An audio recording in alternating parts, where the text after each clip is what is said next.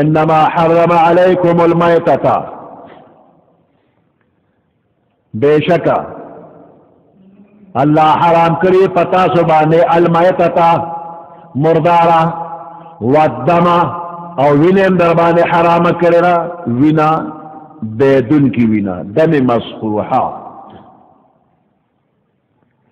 ساروی چې ذبح کی او دا هغه د مړی نه کومه وینه ځي دا بېدونکې وینه ده دا حرامه ده دا نه د خوراک ده او نه د څښاک ده بعضې ناپوهه بنده وایي وی دا د ټوخی د پاره د پخلی د پاره ګرمه ګرمه یو سو لپه اوسکا دا خو پلیته ده لکه د متیازو په شانتې پلیته ده حرامه ده دا د اشکل نه په دې څوک جوړیږي نه بعضې بنده وی په مخ مې ځوانه کې دي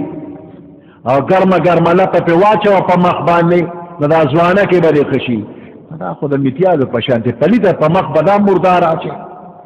نو دا بیدون کی وینا حرام ده بعض کبابیان په کبابو کې واچوي کباب یې ډېر ترس کوني دا ټول نجس او حرام دي د خوراک نه دي ترس کونوالی که پکې وي نو دا خو په مرداره کې ترس کونوالی تا ته وښو شیطان به ته چې خوند یې وکړ نو دا حرام دي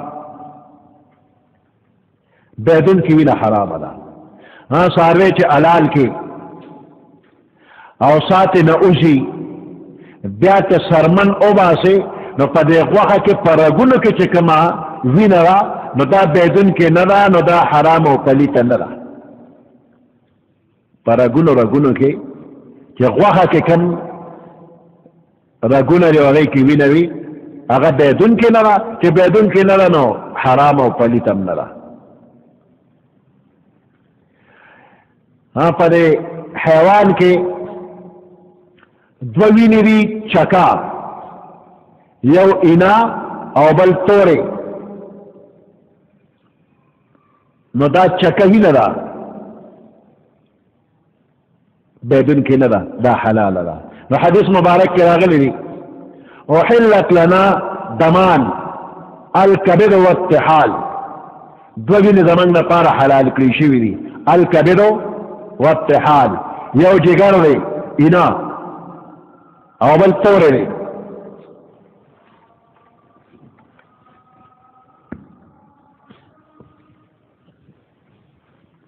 بدن کې وینا نجس ده حرام ده خرید او فروخت حرام اغشتل خرصول د دې سوداګری حرام ده البته یو انسان چې اپریشن وي نو د اپریشن په وخت کې د دنه وینه زی نو ډاکټران د تنور وینه خېږي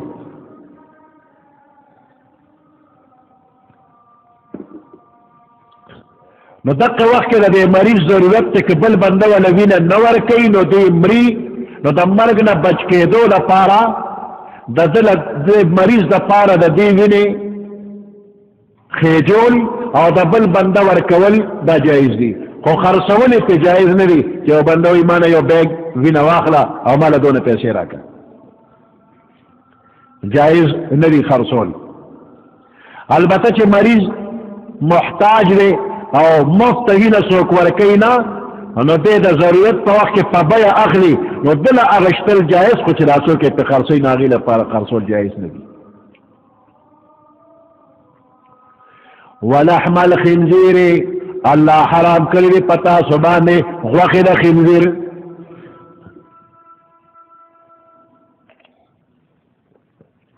د خنزیر غوخه ذکر د غوخه مراد تنه کل اجزاری د خنزیر تمام اجزا حرام دي وما اوهل لغیر الله به او اغم در باندې الله حرام کړی دی چې आवाज په اوشي بغیر د الله د نوم نه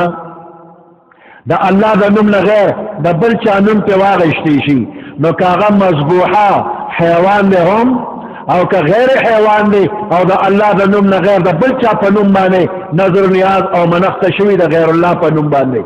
د الله نه غیر د بل چا په نوم نو دا هم الله حرام کړی دی فمن اضطر غیر باغ ولا عاد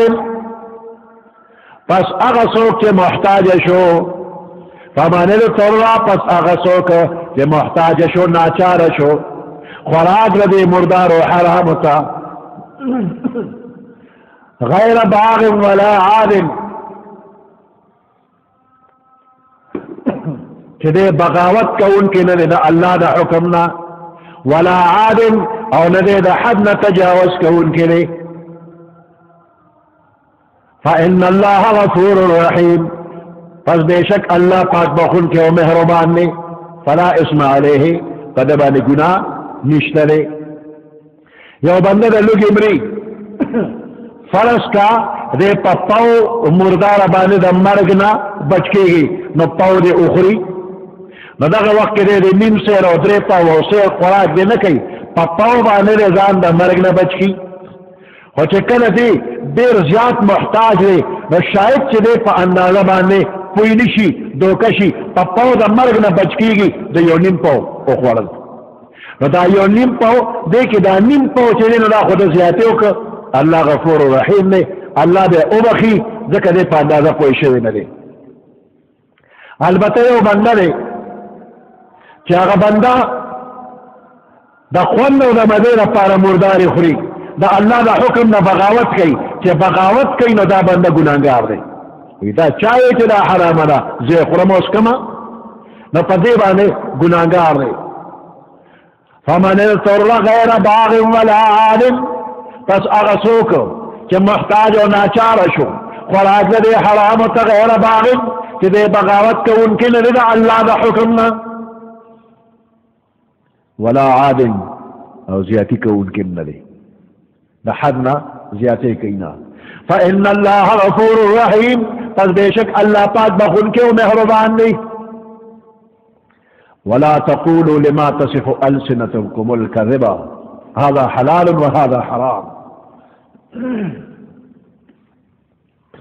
کم سیزونه چې الله حلال کړی دي ځانه مو وایي چې دا حرام دي دا بحیره ده او دا وسیله ده دا د ځانه حیوانات مه حرامه وه دا خو الله نه دي حرام کړی کم چې حرام دي نو د ځانه حلالومه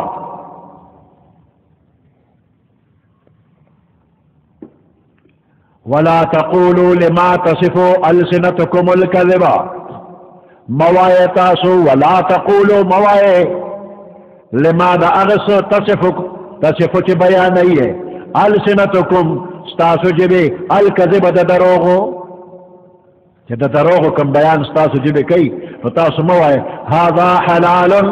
دا شی حلال دی چې الله ني حلال کړی نو تم وایي چې حلال وهذا حرام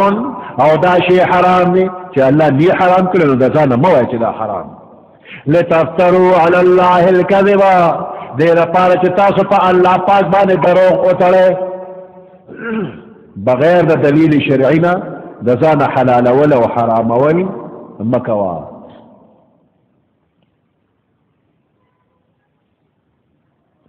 ان الذين يفترون على الله الكذب بشك اغه خلق چې تړل کوي په الله پاک باندې د دروغو لا يفلحون دی بفلاح نمومي کامیابیږي بنا متاع قلیل دا د دنیا فایده اغشتل دی لږ غوندې ولهم عذاب علیم او دې د پاره عذاب دردناک دی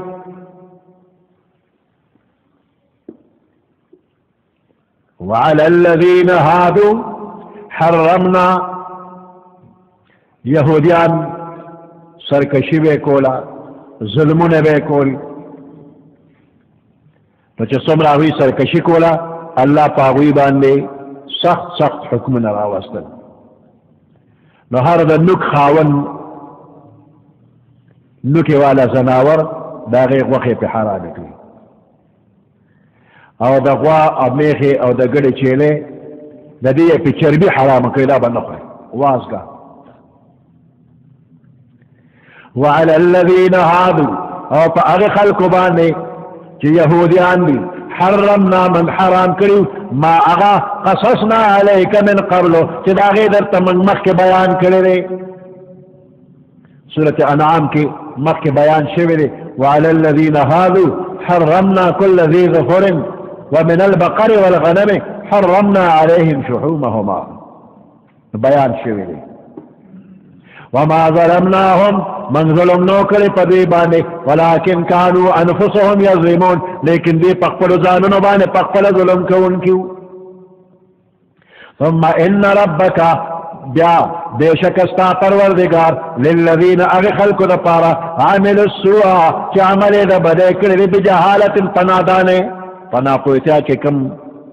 بد کړی دی ثم تابو من بعد ذالک دا غین رست بیا دی توبه و باسی و اصلحو او دا خپل عمل اصلاحو کی ان ربک من بعدها لغفور رحیم بیشک استا پروردگار من بعدها رست دا دینا لغفور رحیم بخون کیو مہربان دی چی گناہ کڑیو توبه و باسی اللہ پاک بخون کیو مہربان دی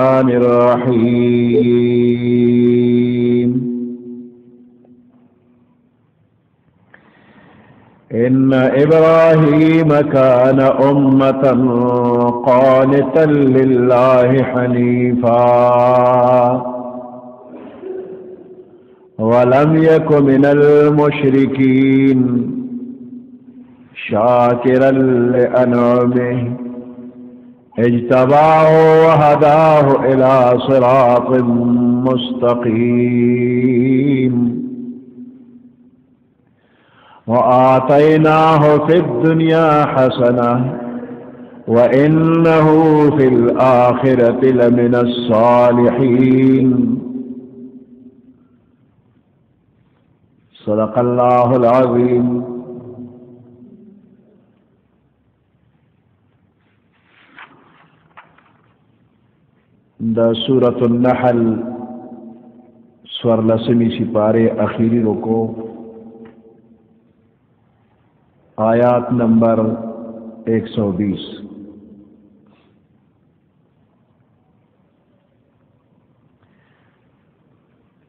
د عربو د مشرکانو د شرکیاتو رد وکړې شو واپسې د امام الموحدین ابو الانبیاء حضرت ابراهیم خلیل الله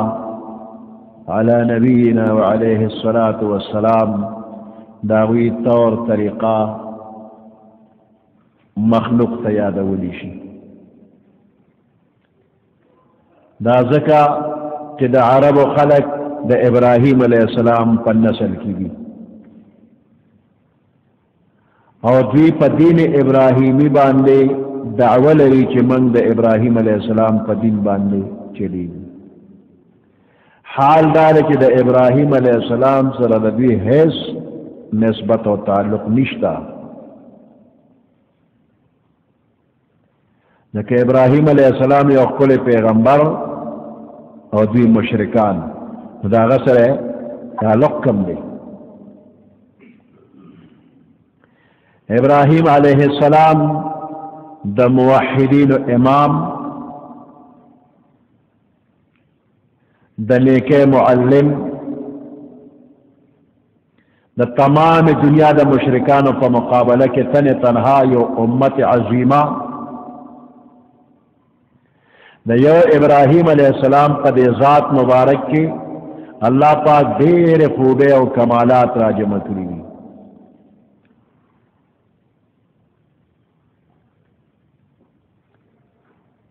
ابراهيم عليه السلام د الله پاک کامل فرمان بردار بنده د باطل نه بس حق طرف تمایل د الله د حکم نه بغیر بالکل هیڅ خبره نه کوله د ځان حلالول حرامول نه کوله چې الله کوم حکم کړی دی بس پاغه باندې عمل کوونکو نو دا مشرکان د مکه دوی شرمیږم نه چې په الله باندې دروغ تړي د ځان حلالول کوي د ځان حرامول کوي د شرک په حمایت کې پیغمبرانو سره جګړه کوي دا د ابراهیم علیه السلام د شان سره هو دوی مناسب نه چلیږي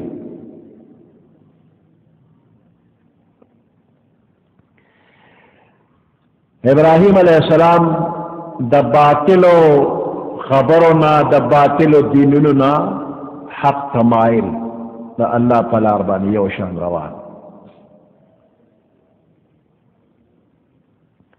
او يهوديان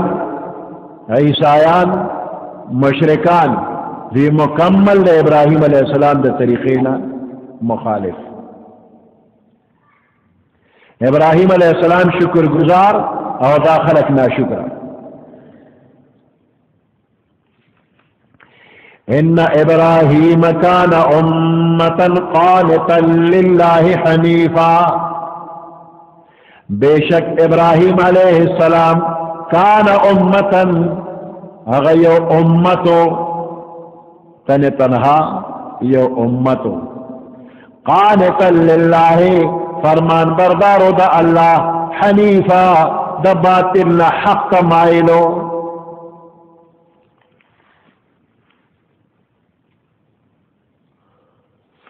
باطل نه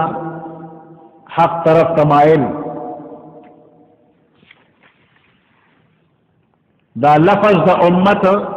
ته د مشهور او معلومه معنا جماعت او قوم عبد الله ابن عباس رضی الله تعالی عنہما تدې دې کوم دغه معنا غشترا چې ابراهيم عليه السلام تنه تنها د یو امت عمره د یو قوم عمره کمالات یوازې لرل او یو معنا د دې امت مقتدای قوم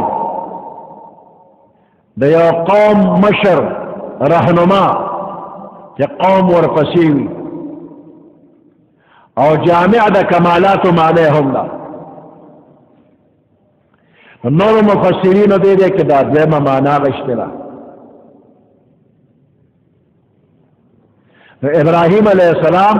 مقتدا او رهنما د یو قوم او ابراهيم عليه السلام جامع د کمالات ډېر کمالات الله ورکړي قانتا د قانت معنا تابع فرمان نو د ابراهیم علی السلام دو صفاتونه دي چې خاص طور الله ذکر کړی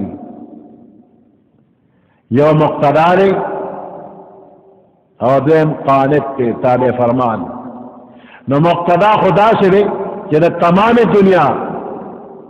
تمام مشهور مذهبونه داغه خلق په ابراهيم عليه السلام باندې عقیدت من دي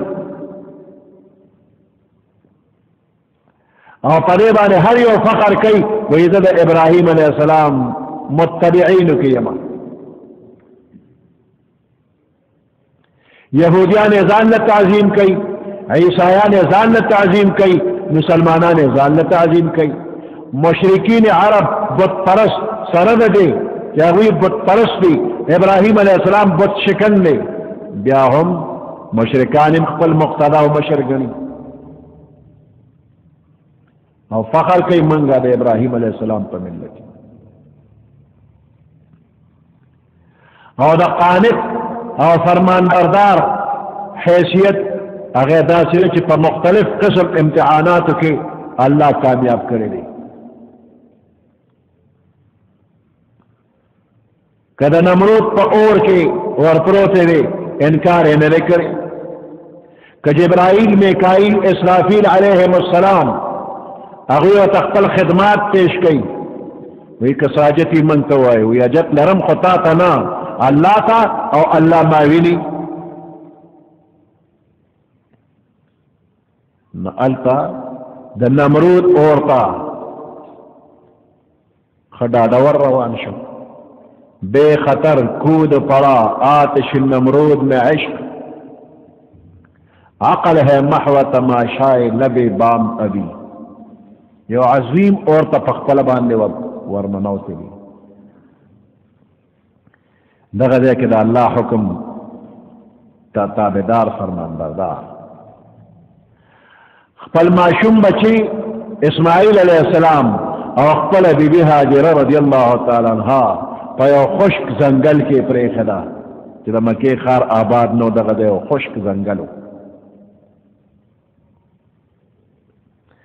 او چې الله ورته په خوب کې اشاره ورکړي چې زوی قرباني نو په دې کې دا الله فرمان بردار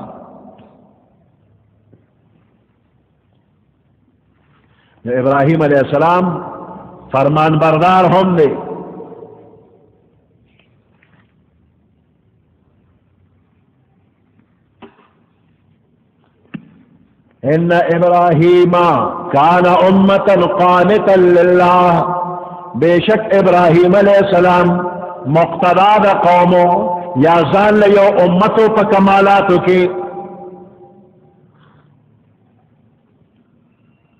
یو امت چې څومره کمالات یې هغه یوازې په یو فرد کې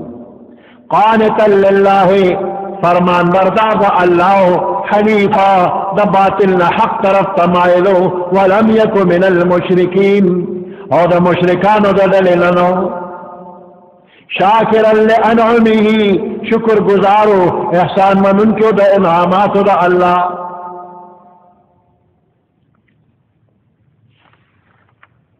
اجتباه الله انتخاب کړي او د خوخ کړي او پسندیده کړي او وهداه الى صراط مستقيم او هدایت ورته کړو د نیغلاره توحید کامل باندې روان او د الله د رضا لارې اختیار کړې و او آتیناه فی الدنیا حسنه من ور کړو د په دنیا کې حسنه نیکی او خیګړه خوبی مو تلې را ور کړو نبوت ور کړې شو فراخ رزق ور کړې شو اولاد ور کړې شو مقبولیت